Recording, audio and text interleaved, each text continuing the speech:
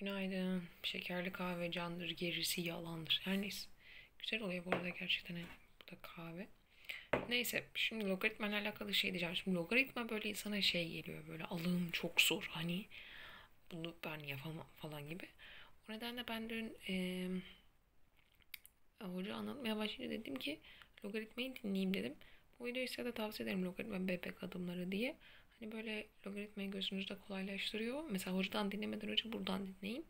Sonra buradan dinleyince benim arkadaşımın tavsiyesiydi hani e, dersten önce dinleyip dersi bir tekrar gibi dinlemek. Öyle olunca böyle de, de, hocayı dinlerken kendinizi kötü hissetmiyorsunuz. Ben niye anlamıyorum diye.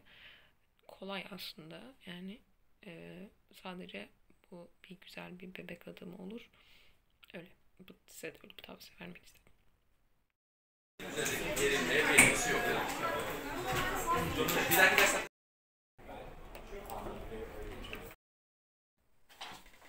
Evet dostlar, merhaba.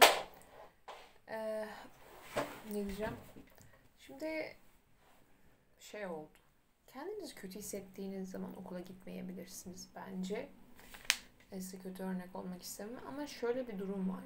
Ya da aslında gitseniz, ya bilmiyorum kişiden kişiye göre değişir ama eğer benim gibi bir insansanız ki bunu nereden anlayabilirsiniz bunu da bilmiyorum. Ki okula gidin tamam mı? Ama ben hani kendimden bahsedeyim o zaman. Ben mesela şöyle yaptım.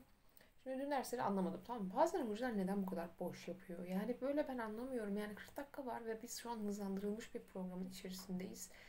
Yani doğru düzgün anlatsana dersini. Hani işimiz gücümüz var. Her neyse. Ee, yani internette her şey var. İnternetten dinleyebilirsiniz ama eğer iradenizin güçlü olması lazım. Gerçi onlara da iradenizin güçlü olması lazım. Yani çok da bir şey değişmiyor. Neyse. Bim'den şey aldım. Ee, kahve alıp bu kutunun içine koydum. yani şey çünkü kutu çok havalı. Ee, neyse. Öyle yani. Şimdi biraz yazı yazıp düşüncelerimi kusacağım. Buraya da kusasım gelirse buraya da kusarım. Hadi görüşürüz. Bye bye. Şimdi Tokyo Ghoul zamanı. Mükemmel bir an ya. Allah olmayanları da versin, bereket de versin. Gönlümü, kalbimi, nefsimi doyursun. Hayırlısıyla amin. Sonraki Asuman unutursun diye söylüyorum. Ee, eğer e, hayatının amacının yemek yemek olmadığını düşünürsen veya eğlenmek olmadığını düşünürsen yani bilirsen çünkü öyle değil. Ee, zevk aldığın şeyleri yapmaktan e, vazgeçmek çok daha kolaylaşır. Yani şöyle diyeyim mesela az önce dondurma yedim. E, dondurmayı o kadar yemekten daha fazla yemeye hakkın olmadığını düşünürsen ki öyle. Çünkü onu yani eğlenmek için yaratılmadık anlatabiliyor muyum? Yani o nedenle e, ders çalışmak e, ders çalışmaya daha uygunuz. Yani ya da çalışmaya daha uygunuz. Yani neden eğlenmiyorum diye düşünmek lazım. Eğer bunun gerekmediğini de düşünürsen e, yapmayınca da üzülmezsin. Bu sefer ders çalışman, çalışman, hani enerji harcaman e, gerektiğini düşünürsen enerji harcamadığın zamanlarda üzülürsün. Böylelikle hayatın gayesini bulmuş olursun ve depresyonun ilacı da boş durmamak bu arada. Bunu İşaret suresinden e, bu yorumu çıkardığımı da anlamıştım. Çünkü e, bir de eğer depresyonda bir insansanız büyük bir ihtimalle size bir şeyler musallat olmuştur. E, Noragami animesini izlediyseniz oradaki şeyler gibi zaten çoğu animede var böyle bir musallat olma durumu. Tokyo Ghoul'de de var. Rize Kaneki'ye musallat oluyor resmen. E, neyse. Damla dondurma yerken o sahneyi gördüm hani şey hmm, Hide'yi yiyip yememe konusunda kararsız kalıyordu Kaneki. Ee, Rize'de ye ye falan diyordu. Hani şeytanın hani ye demesi gibi hani yani hangi konuda israf ediyorsanız, hangi konuda dine aykırı bir şey yapıyorsanız o konuda şeytanın size fitlemesi gibi bir şey oluyor ee, burada Rize'nin yaptığı. animeler gerçekten çok düşünülmüş şeyler. Zaten animeyi ben hani biraz edebiyat metni gibi görüyorum. Hani her animeden bahsetmiyorum. Kaliteli animelerden bahsediyorum ki kaliteli animelerde de saçma sahneler oluyor. Mesela Tokyo Ghoul'de var öyle sahneler ama öyle sahneleri de şeyden koyduklarını düşünüyorum. Hani iyi niyetle ve bakış açısı diye bakarsak. Ee, yani şimdi bazı insanların izlemesi için öyle sahneler gerekiyor. Yani onlar da para kazanması gerekiyor. Para kazanmak için herhalde e, öyle sahneleri de koyuyorlar daha fazla izlenmek için. Tabii yanlış yani keşke gerek olmasa. Neyse onları görmezden gelmeye ve etkilenmemeye çalışmamız lazım ya da e, tabii izlememek en iyisidir belki bilemiyorum her neyse. Yani öyle sonra kendimi tutabildim. O şekilde yani. Yani mesela yemek yemek günde bir kere de olabilirdi, haftada bir kere de olabilirdi mesela yani öyle. Ama her gün birkaç kere yiyoruz. Yani bunu yeterli görmek lazım.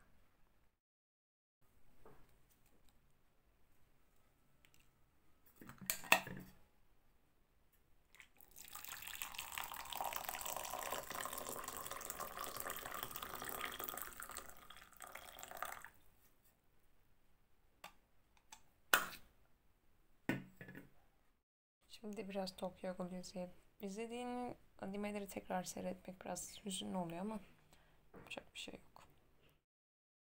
Bakın, bakın evin büfesinden ne çaldım. Kamera niye böyle ya? Kalitesiz olduğu için mi acaba? Ama kaliteliydi bu. Şu an çok kötü gösteriyor musunuz? Gerçekten çok daha güzel bir rengi var. Bu ne böyle be? İyi. Niye böyle? Doğu ışığı dedim. iğrenç oldu. Bir saniye. Evet şimdi daha çok benzedi ama yine de kötü. Neyse. Look at this. This is so nice. Yes. In this has sugar in it. This is so like Ottoman Empire like. Yes. I think it's just like Ottoman Empire. I actually wonder how was the Ottoman Empire because you know right it just a little, a little, a little bit confusing that um, the system these days on these days was er, was really good in my opinion and then yes it's just so nice I think. Because ee, şimdi bak geçen coğrafya dersinde şöyle bir şey dedi hoca. Dedi ki Dedi mesela dedi şimdi dedi e, işte işte bataklıkları şeyle doldurmak e, neden kötü olsun ki diye düşünüyor olabilirsiniz ya da bataklıkları kurutmak evet. Şimdi insan düşününce bataklıkların kimin ne yararı var değil mi? Ama hani onun bir yararı var. Hani onun e, bir yararı var. Onu kurutmamamız gerekiyor. Biz bilmesek de bir takım canlılara falan yararı vardır. O nedenle yani aslında mesela e, bir hakka girin, girme, girme durumunuz varsa herhangi bir hak yani herhangi bir çeşit hak. Hani insan şöyle düşünüyor hani ne olabilir ki en fazla yani hani mesela şu pet şeyi doğaya atsam ne olur ki mesela en basitinden ama işte o bir şey oluyor ya da bir şey olmasına katkı sağlıyor. Yani senin görevin sadece onu atmamak. Hani atmayınca ne olur, atınca ne olur vesaire onu düşünmeye gerek yok. Bir takım iyi ve kötü olduğu bilinen şeyler var. O iyi ve kötü olduğu bilinen şeylerin e, neden iyi ve neden kötü olduğu konusunda böyle bir kere düşünüp ya da hiç düşünmeyip yani hani e, kabul etmek gerekiyor aslında bakarsanız. Yani bu yobazlık değil. Çünkü iyi veya kötü olduğu belli. Yani kimse demez ki pes şeyi doğaya atmak aslında iyi. Kötü yani bildiğimiz kötü bir şey. Hani bu kadar net olan şeyler bu da e, aslında çok da iyi mi kötü mü diye düşünmeye gerek yok diye düşünüyorum. Yani çünkü insan bazen neyin iyi neyin kötü olduğunu ayrıştıramıyor ya. Karışıyor her şey kafasında. Karışık bir şey yok demeye çalışıyorum yani. Hani sevgili Asumancım özellikle sana söylüyorum bunu çünkü sen izleyeceksin büyük ihtimalle. otobüste falan giderken kulağına takıp dinliyorsan eğer beni. Ben şu an bunu söylüyorum. Eğer okula gidiyorsan okulunda doğru düzgün derslerini dinle. Hocalarını doğru düzgün dinle. Ee, sonracığıma başka ne yap? Ee, başka ne yapabilirsin? Derste soru çözmek yeteneğin yok. Ama olur da çözebilirsen çöze, çözmeye çalışır hoca boş yapıyoruz.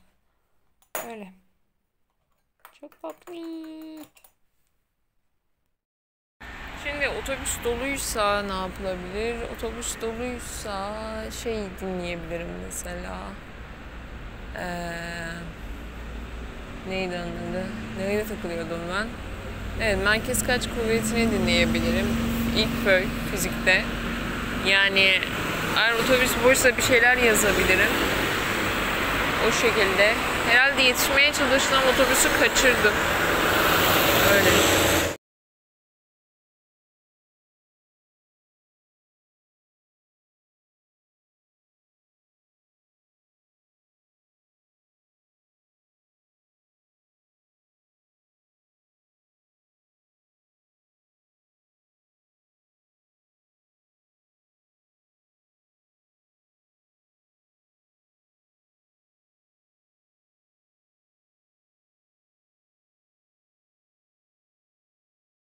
İşte zeka.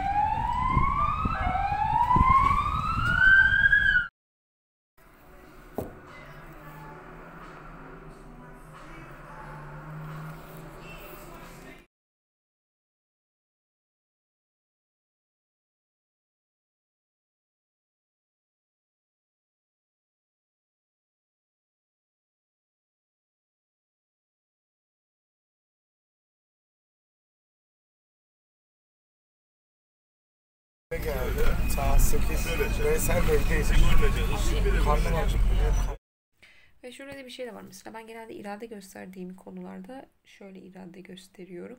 İşte ben şimdi bunu yapmazsam ileride üzülürüm. ileride çok konforsuz olurum. ileride pişman olurum vesaire. Ama ben bunları mesela sabahleyin tuvaletimi yapmadan çıkarsam da düşünüyorsam ya da neden mezuna kalırsam Allah korusun kendimi çok kötü hissederim diye düşünmüyorum. Yani nasıl mezuna kalmayacağımdan ve bu sınavı yapabileceğimden bu kadar eminim. Denemeleri yapamıyorken sınavı neden yapabileyim? Yani çalışmadan neden yapabileyim? Dünyanın kuralı bu çalışırsan olur. Benim bir ayrıcalığım yok. Çalışırsan olur. Çalışmazsan olmaz. Ve bu kadar çalışmak gerekiyor bu sınavı yapabilmek için. Bu sınav zor bir sınav.